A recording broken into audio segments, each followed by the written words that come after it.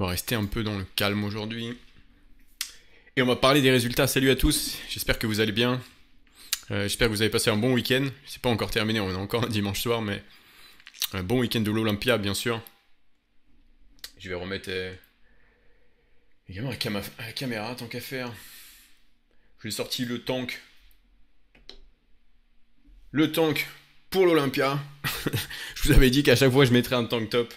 Euh, ce serait chose sérieuse. Donc aujourd'hui on déconne zéro on va parler ensemble, surtout parce que je pense que les... Je suis bien actif, ouais. Je pense que les résultats, vous les avez déjà vus. Hein. De toute façon, je viens même de, scroller dessus, donc bon. voilà. Euh, mais euh, on va en parler. On va faire quelques analyses. Bien sûr, ça va pas, peut-être pas être un stream aussi long que ceux dans semaine, mais c'était histoire de pouvoir en parler parce que qu'est-ce qu'il y a de plus frustrant que de regarder l'Olympia et de ne pas pouvoir échanger il, nous oblige à ne pas le faire. Il nous impose de ne pas le faire déjà en nous empêchant de de le vivre ensemble sur Internet. Euh, donc euh, au moins, on peut en parler maintenant, euh, juste, juste après. Je pense que vous avez vu les résultats, on peut, peut même commencer à les regarder ensemble, c'est parce que c'est un peu le titre du stream. Hein. Et puis ce qui m'intéresse de voir avec vous, c'est surtout ça, parce que je pense que c'est ça que vous n'avez pas vu. Déjà, ce que ça va vous donner, c'est le placement complet, total, de tout le monde, sur toute catégorie, mais on va s'intéresser à trois catégories seulement sur ce stream. Euh, peut-être 4, on verra. Euh, et ça nous permet de voir les différences également entre le, premier jour et le deuxième jour, donc le pré-judging et les finales. Euh, parce que différence, il peut y avoir, et différence de placement, il y a carrément généralement. Un mec qui, revient vraiment fort le soir peut passer, par exemple, de quatrième au pré-judging, parce que généralement ils sont pas trop loin de leur placement final quand même, à deuxième le soir. Ça c'est déjà vu. Et euh, j'ai pas encore tout analysé, mais c'est possible qu'à nouveau, on ait eu droit justement euh, à, ce, changement de placement, à cette évolution de placement, que ce soit progression ou régression entre le show du matin et le soir. Le show du soir. Enfin, les, les, deux jours, quoi. Et, c'est ce que je vous invite à regarder de manière générale, parce que on attend toujours euh, des bodybuilders qui, reviennent mieux le soir, et par moments on a des placements qu'on ne comprend pas trop parce qu'on n'a pas vu le pré-judging. Mais comme vous le voyez sur ce tableau, là c'est zoomé un max je crois, est-ce que je peux faire encore? Non, je peux encore un peu plus zoomer sur le stream, mais c'est bon. Comme vous voyez sur le tableau, on a un total ici. Donc les deux comptent. C'est une addition des deux. Donc si vous foirez complètement à l'un et vous êtes OK plus sur l'autre, votre total ne va pas être super haut non plus donc euh, il faut vraiment être bon euh, en permanence et éventuellement euh, encore meilleur sur un, des deux, un des deux showings. Et ça, ça nous permet de comprendre. Ça, ça nous permet de comprendre justement les placements et puis de voir déjà où tout le monde est placé et la raison pour laquelle quelqu'un finit plus haut que ce qu'on ne le pensait. Ça peut s'expliquer par ce que vous n'avez pas vu, par exemple, sur le passage où vous avez porté le moins d'attention. Donc, les, fiches de, de, résultats, les scorecards, euh, c'est l'explication à tout ce qu'on ne comprend pas quand on regarde le live. Tout est quasiment toujours dans, ces fiches. Donc je vous invite vraiment à les regarder. Et on va regarder le placement complet maintenant si ça vous, si ça vous dit. Donc, euh, bon, bien sûr, si vous regardez les points, c'est pas celui qui a le plus de points euh, qui remporte, hein, c'est l'inverse du coup.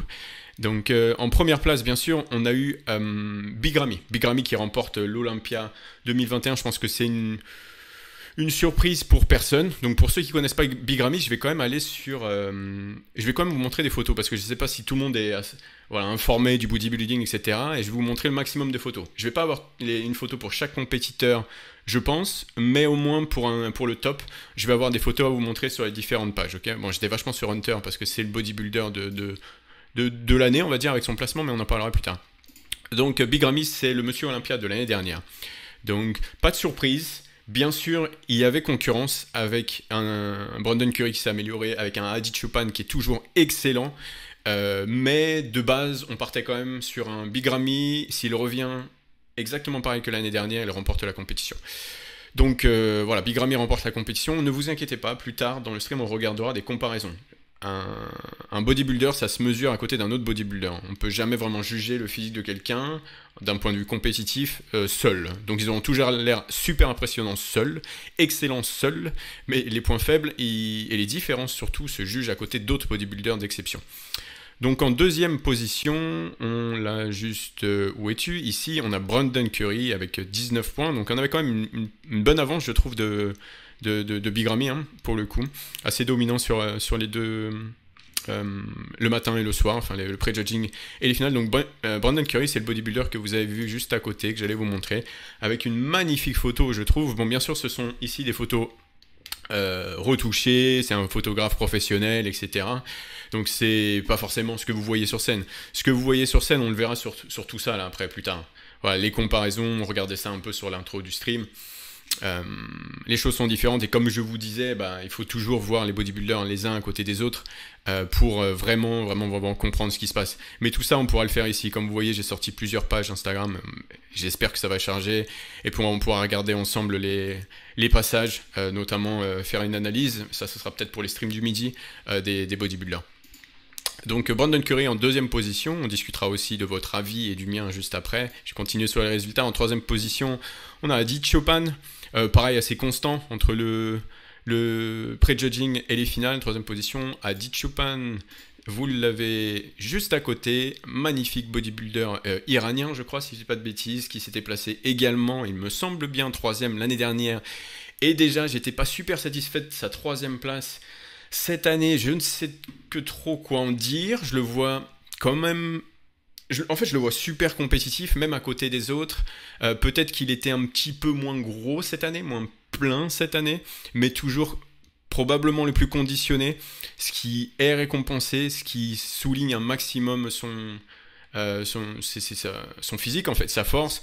Donc c'est difficile à chaque fois de, de, de, placer et d'accepter le placement par moment de Bigrami de euh, Adi Chupan, sauf que devant, on a quand même Brandon Curry que vous avez vu jusqu'avant et le monsieur Olympia euh.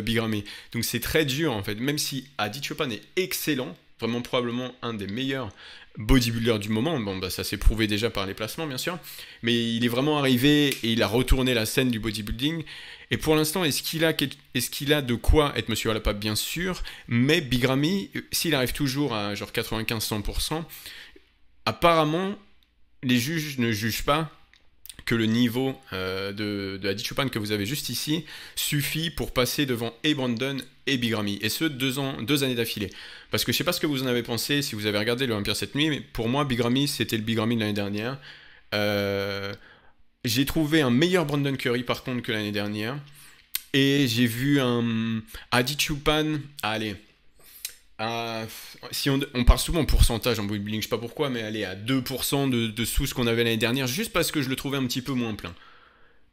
Un peu moins plein, ça se voit un petit peu peut-être dans le bas du dos aussi, genre, mais vraiment un tout petit peu. Donc on a quasiment la même chose.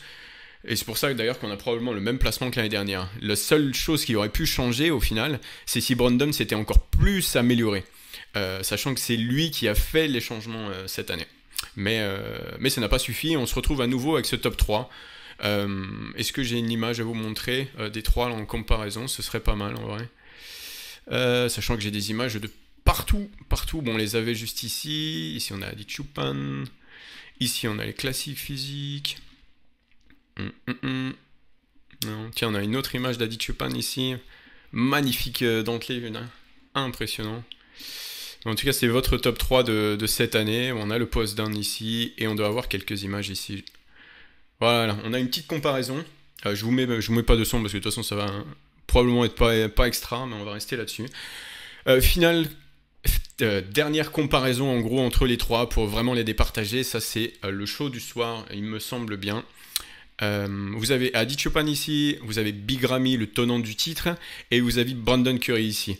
Donc ce qui est intéressant, c'est qu'on a trois physiques différents déjà on a vraiment trois physiques différents. Donc euh, la, taille, elle est un peu la même. Enfin non, vraiment, on a un plus petit profil avec Adi. Euh, on a un géant avec Big Ramy, le plus massif également. Et on a Brandon Curry qui a également une shape, une structure en fait euh, assez différente. Donc je, trouve ça vachement intéressant à voir sur scène. Ça change un peu. éventuellement d'une catégorie où ils se ressemblent absolument tous, où ils ont tous les mêmes morphologies, et je pense à... Et c'est imposé par la catégorie men's physique. Je pense c'est ce qui rend open très très très intéressant. Donc la qualité, euh, bon voilà, la qualité c'est la qualité Instagram. Bien sûr, on aura probablement de plus en plus de contenu. Je vous rappelle que les finales c'était euh, dans la nuit, euh, donc c'est très récent tout ça. Et donc bien sûr c'est des enregistrements du live stream, c'est pas extra. Mais on a les, on a les comparaisons des, des, trois que je viens de vous citer. Ce que je veux faire sur un de mes streams, du midi, si vous voulez venir pendant la semaine, c'est faire vraiment une comparaison pause par pause.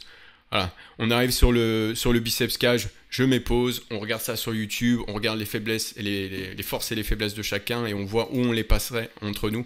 C'est un contenu que j'adore regarder. Il y a un YouTuber, euh, je sais pas s'il est américain mais il est anglophone, euh, qui, filme ça et c'est mes vidéos de bodybuilding, je pense, euh, préférées sur, sur la plateforme. Et ça serait sympa qu'on fasse ça ensemble. Déjà, on va le faire ensemble pour classique demain midi avec Joe Rush. mais pour Open, on se le fera peut-être mardi ou mercredi. Donc voilà pour les trois. On va continuer un peu sur le tableau parce que j'ai envie de vous donner la totale. Parce que mine de rien, il y avait beaucoup de bodybuilders que vous attendiez. Euh, vraiment beaucoup. On avait fait une vidéo d'ailleurs sur ma chaîne de, euh, prédiction.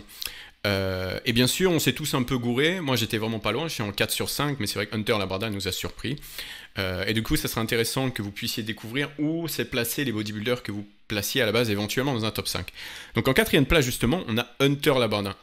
Hunter Labrada qui s'est glissé directement pour euh, son Olympia début en quatrième place. C'est digne en fait d'un Adi Chupan, sachant que la première année que Adi Chupan est venu, il était euh, troisième.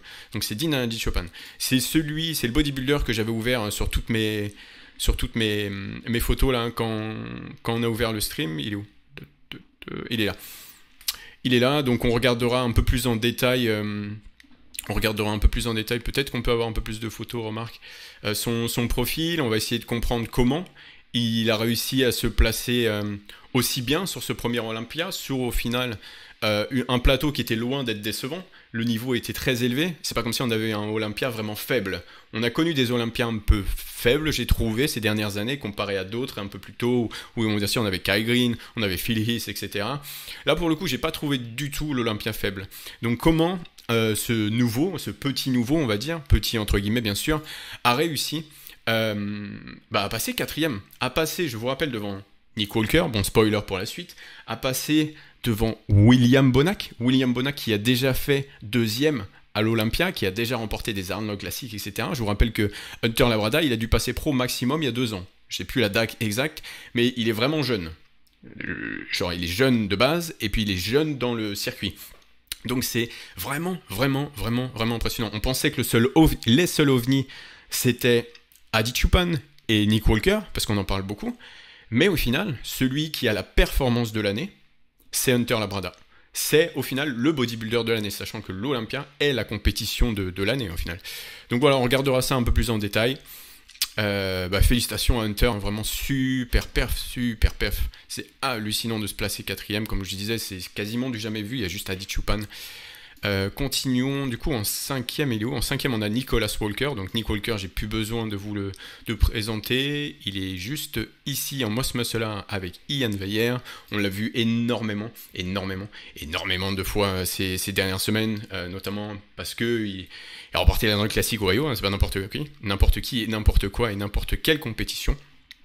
Donc cinquième place, c'est là où je l'avais placé, c'est là où je le voyais pour ce début à l'Olympia.